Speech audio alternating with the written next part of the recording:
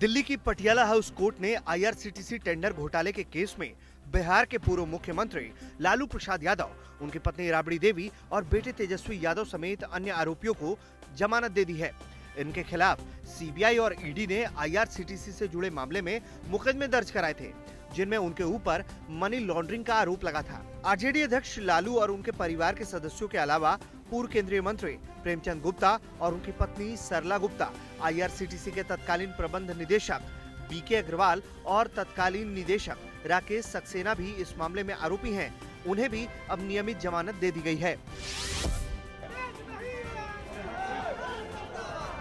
तेज प्रताप यादव ने एक बार फिर पटना में बवाल खड़ा कर दिया। तेज प्रताप ने अपने संगठन के छात्र नेता की पिटाई के मामले में कार्रवाई की मांग को लेकर राजधानी पटना के ऐतिहासिक गांधी मैदान में धरना दिया। इस दौरान तेज प्रताप के साथ उनके समर्थक भी मौजूद रहे और वो जमकर नारेबाजी भी करते हुए नज़र आए। धरने पर बैठे तेज प्रताप ने कहा कि छात्र नेताओं की पिटाई में शामिल लोगों को पुलिस तत्काल गिरफ़्तार करे।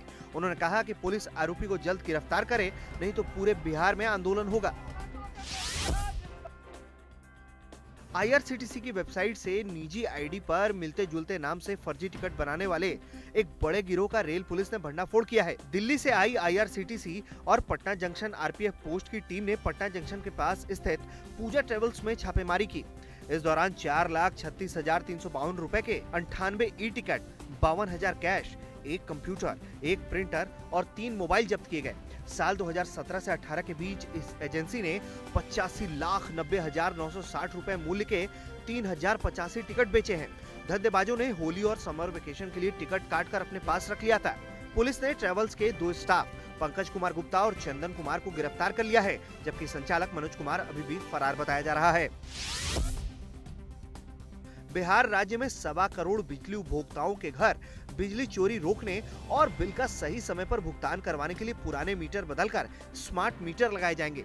पहले चरण में करीब डेढ़ लाख घरों में इसे लगाए जाने की योजना है। बिजली कंपनी के सूत्रों का कहना है कि पिछले दो से तीन सालों के दौरान छह से सात हज़ार क्वार्टरों में स्मार्ट मीटर लगाए गए हैं। साथ ही प्रदेश में कुछ कृषि फीडरों में भी इसे लगाया गया है।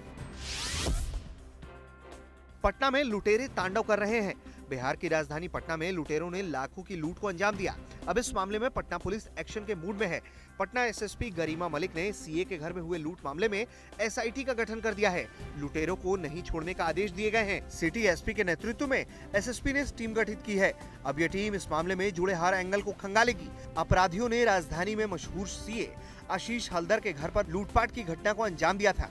जानकारी के मुताबिक चार की संख्या में आए नकाब पोष अपराधियों ने सीए के घर से तीन लाख रुपए कैश 20 लाख के जेवरात और लाइसेंसी रिवॉल्वर लूट ले गए थे।